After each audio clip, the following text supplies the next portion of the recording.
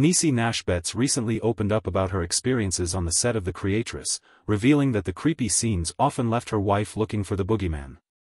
The actress described how the intense and grotesque moments in the film contributed to a thrilling atmosphere, not only for the audience but also for those involved in the production. Nash Betts highlighted the fine line between horror and humor, explaining how the unsettling scenes prompted genuine reactions from the cast and crew.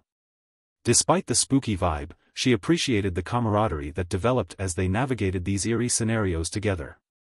The film promises to deliver a captivating blend of suspense and storytelling, with Nash Betts' performance expected to shine through the chilling narrative.